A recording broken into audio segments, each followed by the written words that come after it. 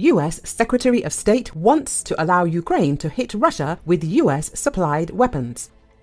The New York Times has reported that the White House is debating whether to allow Ukraine to use US supplied weapons to strike Russian territory, with Secretary of State Antony Blinken urging President Joe Biden to lift the restrictions after a sobering trip to Kiev.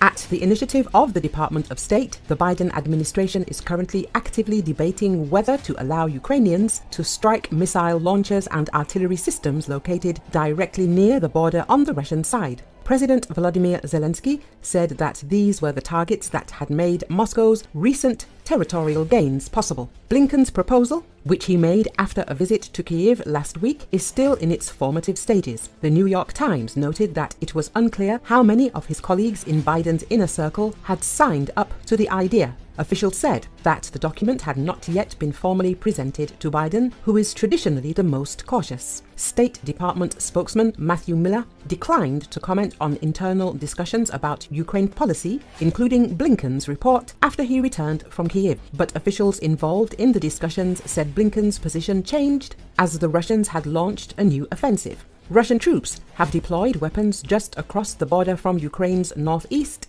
and aimed them at Kharkiv, knowing that Ukrainians would only be able to use non US drones and other weapons to retaliate. The New York Times pointed out that for the last few months, Ukraine had been stepping up attacks on Russian vessels, oil facilities, and power plants.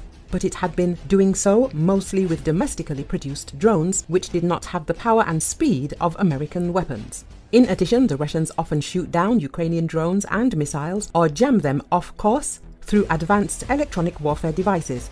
Pressure is now mounting on the United States to help Ukraine strike military targets in Russia, even if Washington wants to maintain its ban on attacking oil refineries and other Russian infrastructure with US supplied weapons. The New York Times emphasized that the UK, which usually keeps pace with Washington on military strategy, has quietly lifted its own restrictions so that its Storm Shadow cruise missile system could be used to target Russia more broadly. The change, of course, could also affect the future training of Ukrainian soldiers. Until now, they have been training with Western weapons at a training ground in Germany.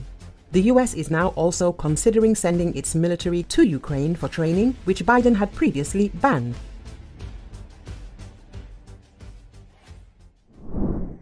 Зазвичай хробачі пілоти на півдні таких нехтувань безпекою собі не дозволяють. Очевидно, на острови висаджують зовсім нетраханих.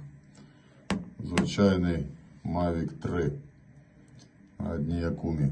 Середня тривалість польоту близько 20 хвилин. Жім полетів. Нам вистачить 3 хвилини щоб відрегулювати та відпрацювати цю ситуацію з цими новоявленими літунами хробачими. Спробуємо заїхати їм в хвост і в гриву. Не називатиму накоємо ззовні. Ось тут стирчатимуть зараз руки з пультом пілота. Хробачок три керує дроном, не чує, що по ньому спрацював перший. Так, невдалий. Ми теж не завжди точно влучаємо. Щось тут трохи перекасайобило. Але три секундочки. Хвоста. Вони за задумом мали прилетіти синхронно, але ж цього не розрахуєш. Тож, хлопці, гарно. Гарно. 3-4 секунди різниці. Супер. Хробачня навіть не встигла оклигатися. То не кінець, то не кінець. Ну, дивимося. 3, 2, 1. Побігли.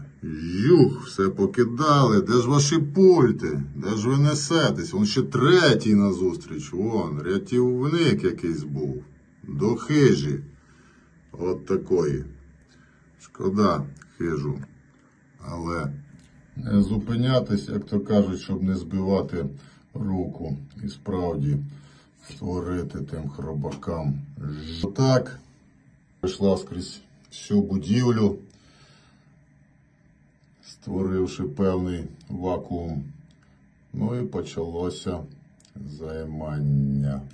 Не знаю, що там в ній зберігало, чи знатно, будівля, тому стрічковий фундамент, глибоко тут не вкопаєш, вон вода всюди, відповідно, підвал. Але так і не вийшли, тож побачили найближчий бліндажик і відпрацювали його теж на всяк випадок. Адже дрон у засідці не може знаходитися добами, а водонапорні то наша фішка. І нічого страшного у своїй практиці. А хробаки нехай обходять. Двері відлетіли кожну водонапорну вежу чи ще будь-що з рівною поверхнею, де може присісти у засідці по їх душу. Гарний ударний дрон, в нашому випадку народний F7. Коротше, цим п'ятачком острову покінчено. Нічого тут тому бліндажі не спостерігалося, але і дрон залишати просто так не хотілося. Ще одне хробачело літуном себе придумало. Зараз привітаємо. Будівля рихла. Піде добре і швидко. Джинь, дрон полетів.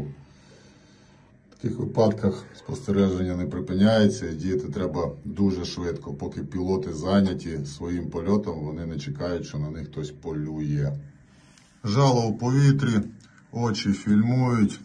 Козаки, вам он в ті другі двері. Тут все швидко і без шансів на перебіжки. Гарно.